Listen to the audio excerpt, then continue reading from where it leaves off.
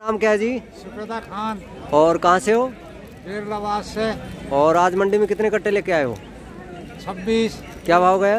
नौ सौ इक्यावन। नौ सौ इक्यावन। तो ये भाव ठीक है आपको?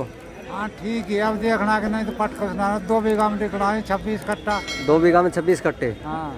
और इससे तो आपका बीज का खर्चा भी नहीं निकलेगा? नहीं निकले। और मेहनत मजदूरी अलग है अपनी जो तो? सब गई कुआ पहाड़ में। बिल्कुल बिल्कुल।